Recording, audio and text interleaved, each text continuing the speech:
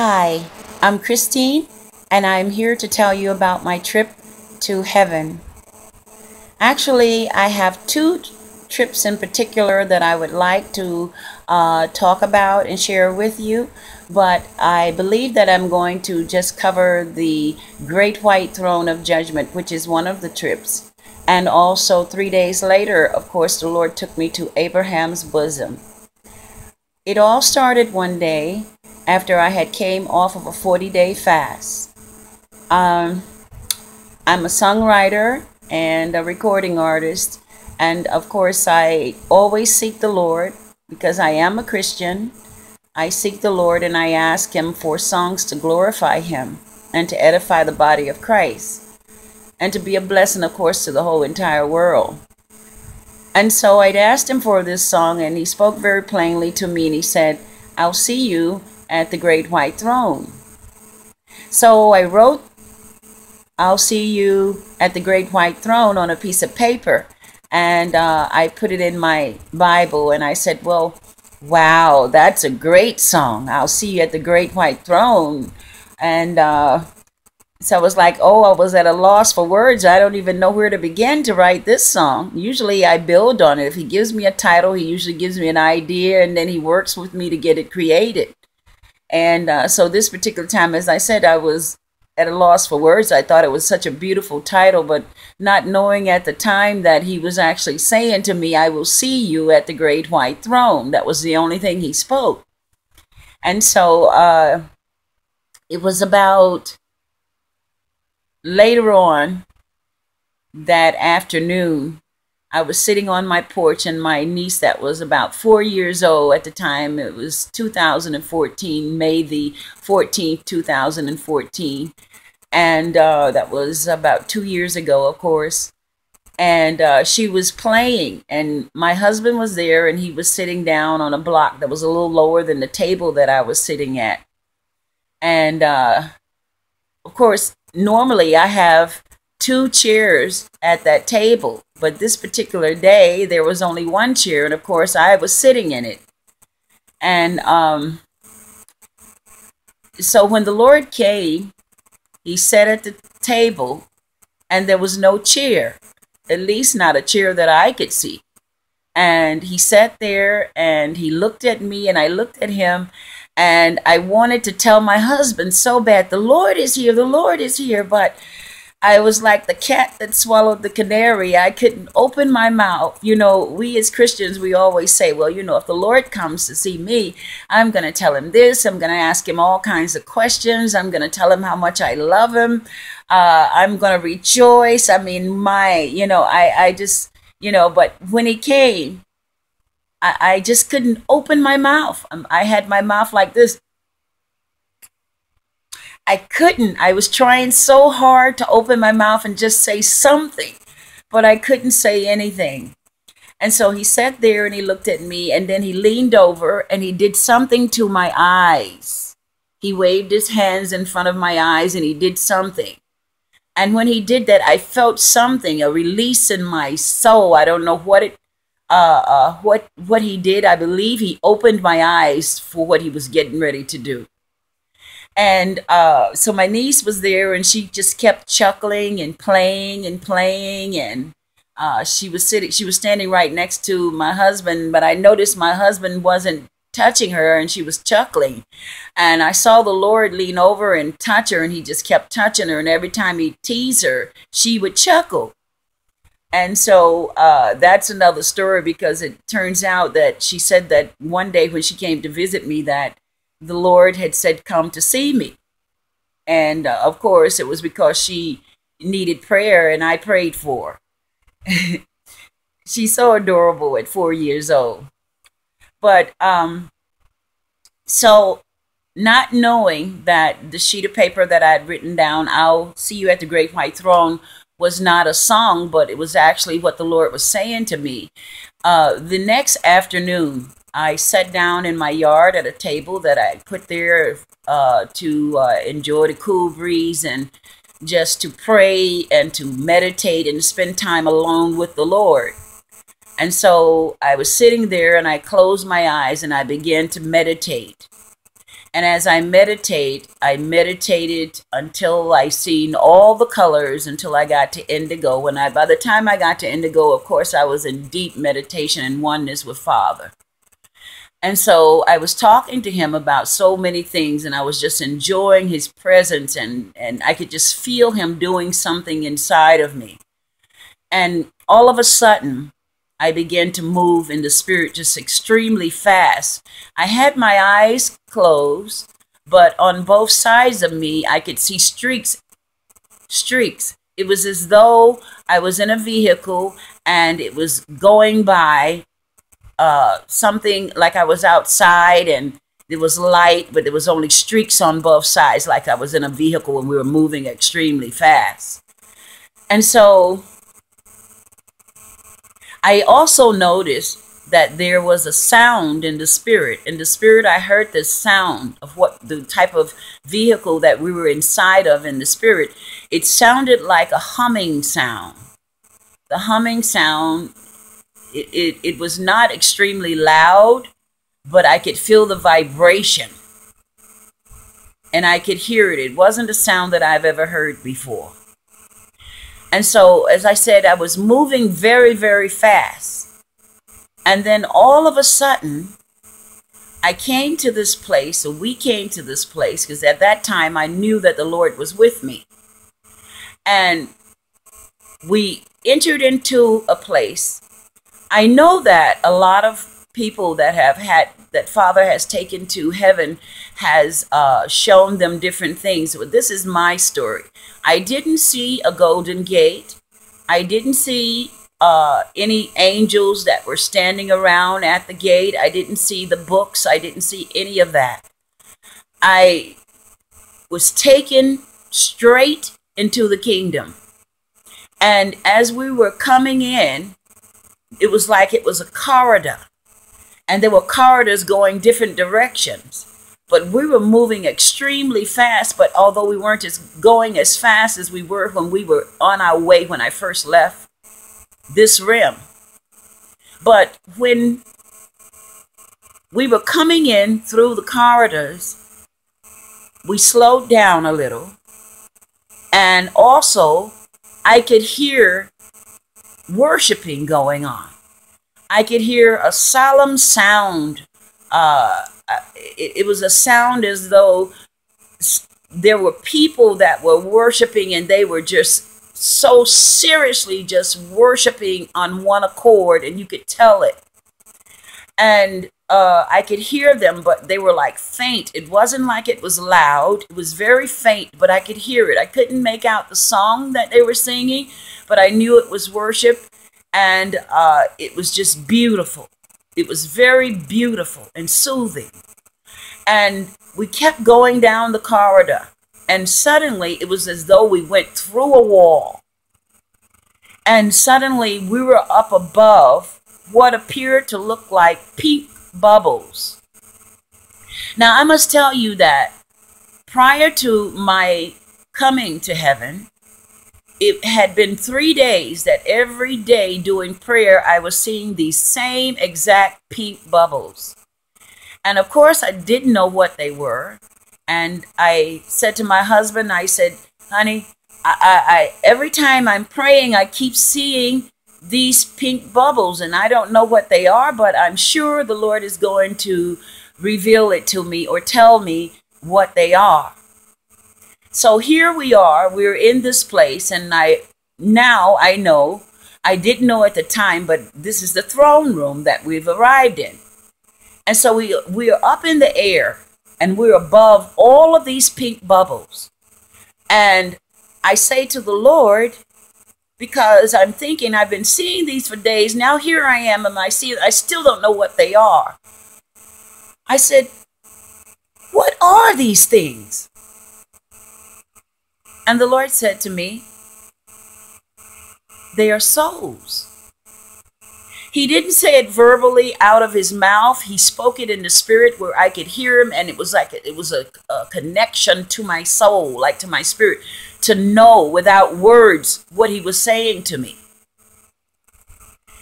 And so, suddenly, suddenly, after all this time, and then when he when he told me that these were souls, immediately my eyes were open, and I could tell that they were souls.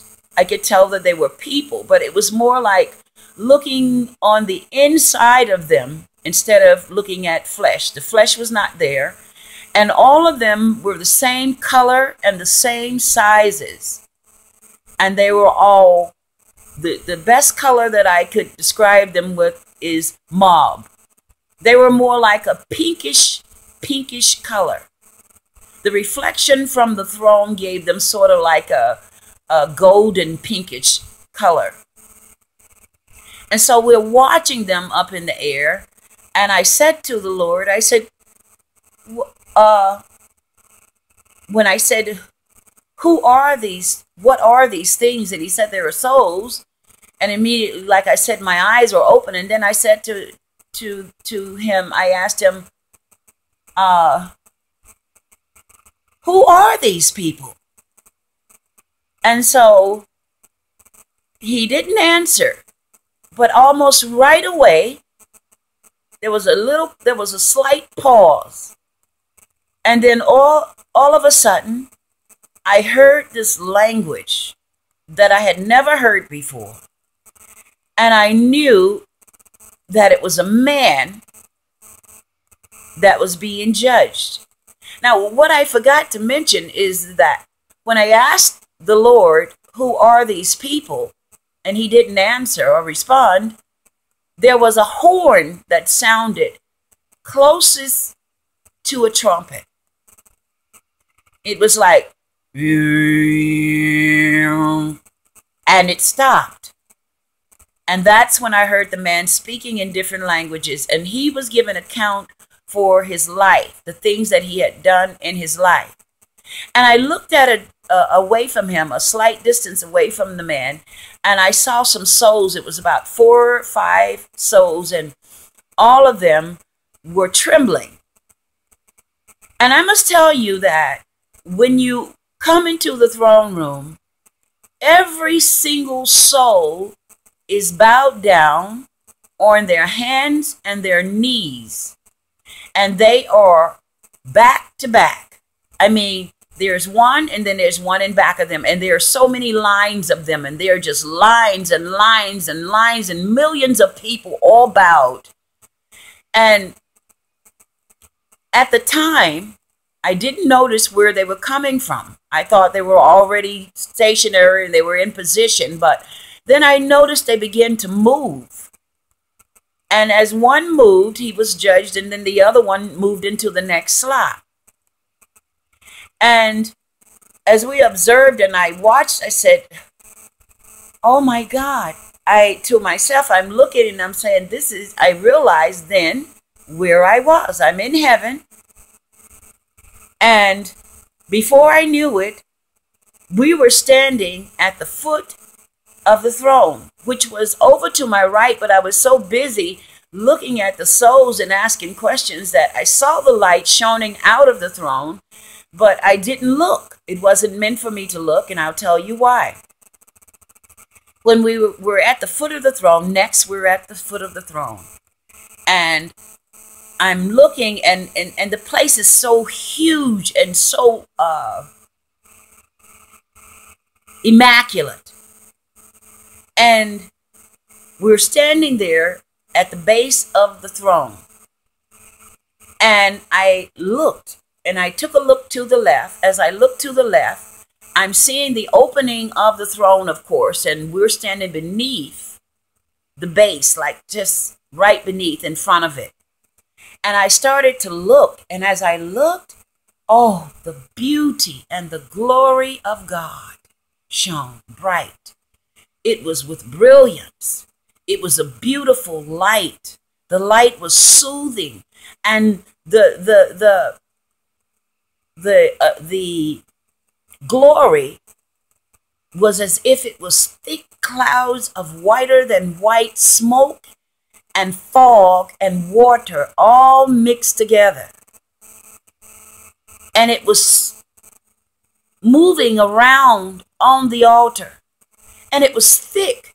But although it was thick, I was able to see into the altar and on the altar to see different objects that were placed there. And one of the things that I saw was a tall square box.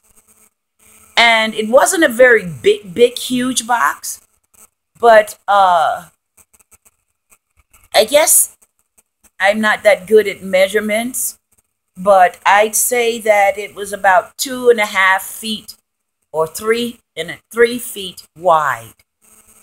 And it was square and it had water coming up out of it. And,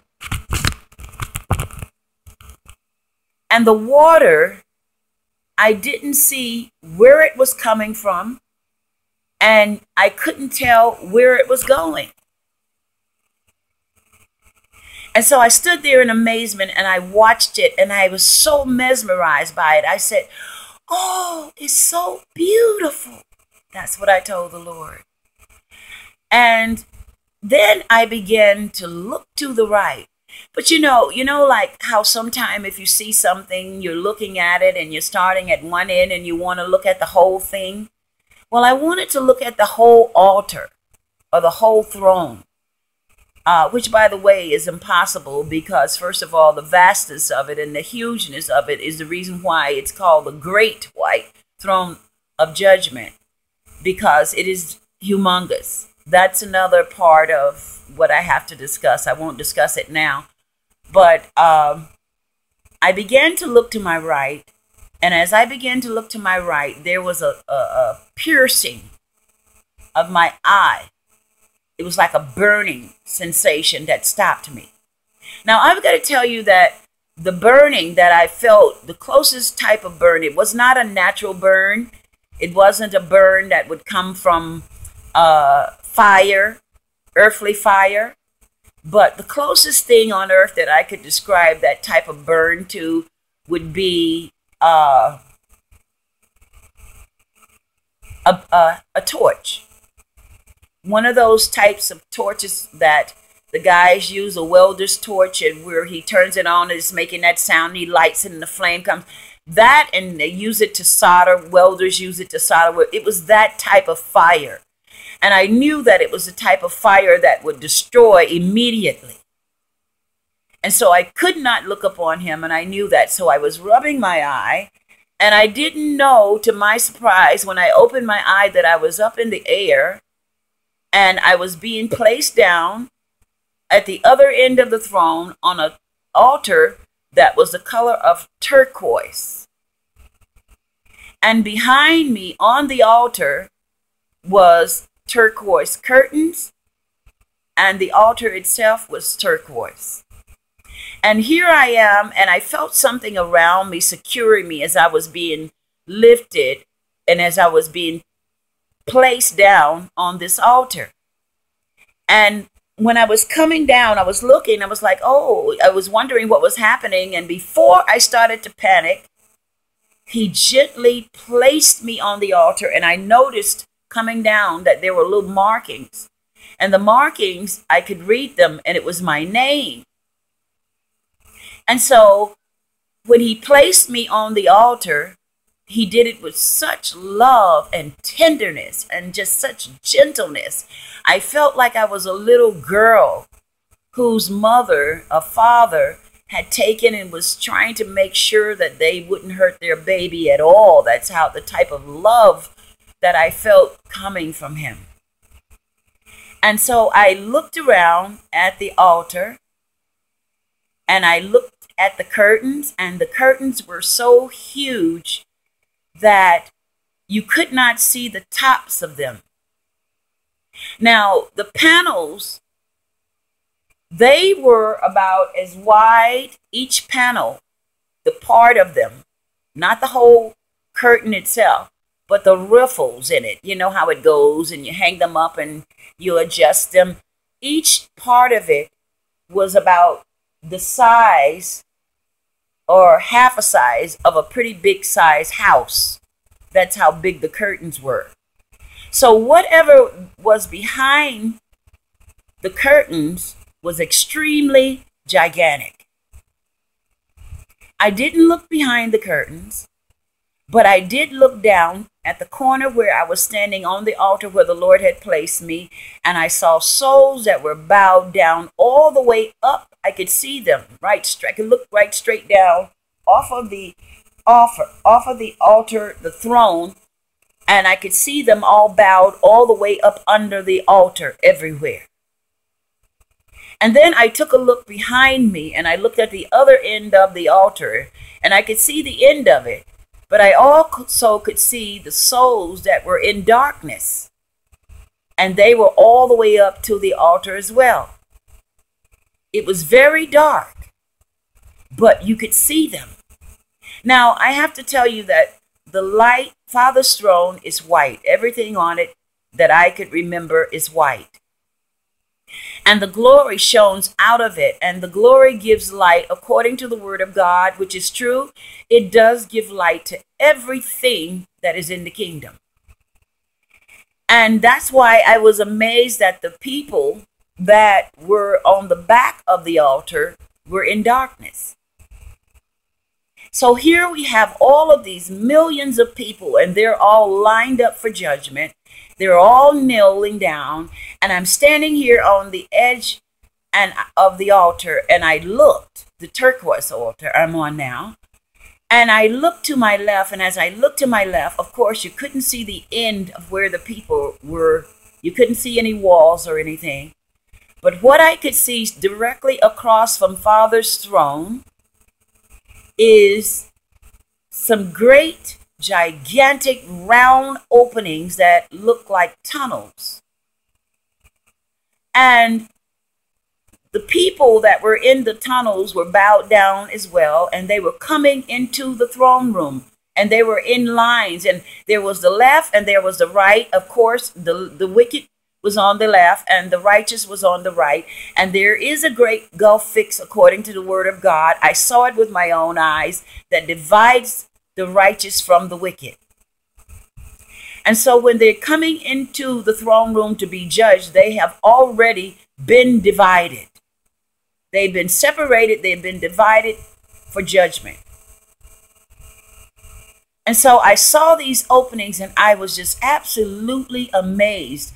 I've got to tell you that inside of this place in the judgment room or in the throne room, the candlelight and the atmosphere itself, it looked as though it was inside of a mountain.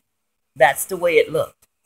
It looked like it was inside of a mountain, and uh, and I just felt that that's what it was. It was in a place that was secure. There was no way in unless the Lord brought you in there, and um, or you came in through the tunnels. And so I saw all of these people and I'm marveling to myself about it. And I'm standing there and uh, I begin to ask questions. First, I looked up at the sky. There was no sky, only blackness, only darkness. I looked to my right. I couldn't see any walls, only people that were bowed. And then I asked questions to the Lord. I said, I asked him, I said, So is there a holding place? Is there a place where people go before they come here? Do people go straight to hell? According to the word of God, I know it says that, for it is appointed unto men once to die, and then the judgment. So I've always believed the word of God, but here I am in paradise where God's throne is at, in the throne room, and I'm asking him these questions. And the Lord said to me, This is where everyone comes. And something else was also revealed to me at the same time when he answered that quest those questions. Many people have testimonies where they are coming uh, they have died and they're coming through tu- a tunnel and they see light. Well, this is the reason why you see the light because you are on your way to the throne room to be judged. The light itself is very soothing It is so beautiful.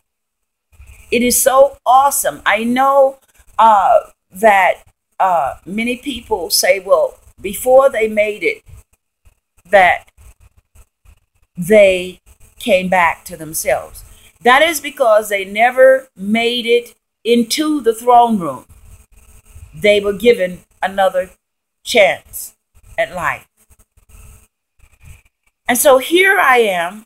I'm standing and I was watching everything in my immediate or not too far away vicinity. And all of a sudden, I took a look straight ahead of me. I was so overwhelmed because the souls that had came into in through the tunnel were everywhere.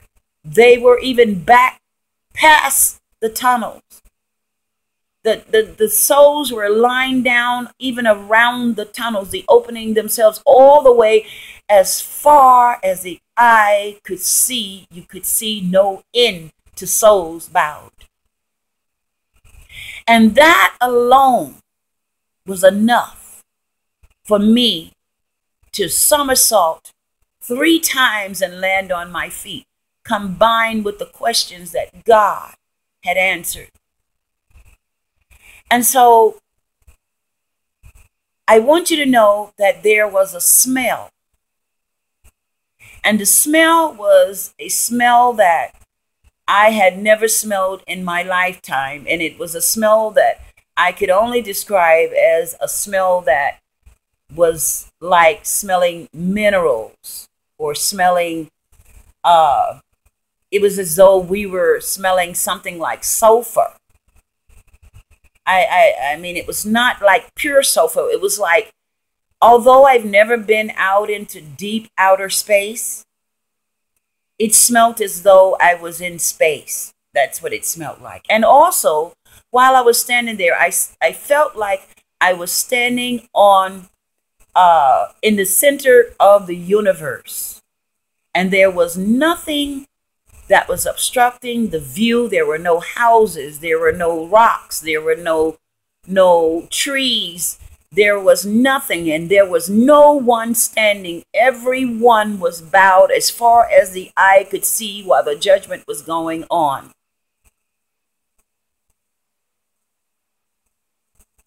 And the next thing I knew, of course, I had returned to my body. I want you to know that heaven is real for those that are skeptical for those that are into all kinds of sciences that are made by man. I want you to know that the judgment is real. I want you to know that the Bible is true. When the Word of God says that, for it is appointed unto men once to die and then the judgment, that there is a judgment for the wickedness, the wickedness that is done in this earth.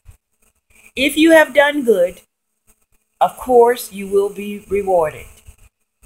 If you have not, then my suggestion to you is that you repent now. Don't let it be said that it's everlasting too late. Hell is not a place for anyone other than Satan and his followers, the devil. Satan, the devil. Satan and the fallen angels is where hell is prepared. Hell has been prepared for them, not for believers, not for those that love the Lord. Hell is a reality. Once you're at the throne, you receive your judgment. Many of you have been fortunate enough to have experienced hell, to go there and to be able to see the reality of it and given another chance. Not all will receive that chance. I am asking you right now, in the name of Jesus Christ, as a witness myself that has witnessed the things that are prepared for us. some of the things that are prepared for us. And the judgment seat is our next place or destination after we take our last breath in these bodies, these fleshly bodies. For the people that are so concerned about color, so concerned about where you're from, so concerned about how you look, your appearance. As I said before, all of the souls are the same size and the same color. None of them were allowed to look up at the throne.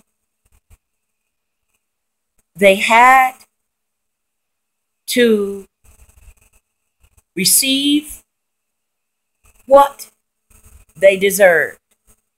Don't let it be that you deserve hell. Repent before it's too late. Understand that many false teachers will come and they will speak contrary to the gospel. But I am here to tell you that the Word of God is real, it's true, heaven is real, and you have to make up your mind now. The time is winding up. Look at the signs, look at the condition of this world. Even someone that is not saved can safely say that it has got to end somewhere. The things that are going on in this world need divine intervention. And that is because it is going to happen. God is going to come, and He is coming this time not as a savior, but as a judge to judge this whole entire existence, this whole entire world. I would like for you to pray with me right now that you will be found worthy to enter the kingdom. All you have to do is repent of your sins. Understand that anything that you give up will be, be replaced, will be replaced with splendor, wonderful things, great things, awesome things, and life eternal and joy unspeakable. Why not put it down now? and come on over to the Lord's side. Let us pray. Father, in the name of Jesus, Lord, I am praying and standing in the gap for those, Lord, that are seeking you, Lord. Even the ones that are being misled, Father, I pray that you will deliver them from the traps of the enemy and set them free right now in the name of Jesus Christ. Father, I ask you these things. Have mercy, Father. I pray that you don't lay any sin to their charge, but rather, Lord, that you cause them to see the error of their ways and cause them to repent, Father, before it's everlasting too late. Father, you said if any man would call upon you, that you would hear them and that you would deliver them. Father, you said in the book of Second Chronicles 14, if my people that are called by my name would humble themselves and pray and seek my face, turn from their wicked ways. And he said that he would hear from heaven. Father, you said it. You would hear from heaven and you would forgive our sins and heal our land. Father, I pray that you will heal our land and forgive us of our sins. Cleanse us from all unrighteousness. Make us a people ready to enter your kingdom. For we know that no whoremonger or sorcerer or adulterous person or drunkard shall enter your kingdom. For Father, your kingdom is for the pure and the holy. And you are the one that can prepare and that does the preparation for the entering in therein. Father, right now, Father. I pray for this soul and these souls that are repenting right now. Father, that you will forgive them and cleanse them. Give them another chance, Lord. Father, give them divine revelation. Even give them experiences of their own that they can share that will be uplifting to others, Lord, that will help to restore them on the right paths.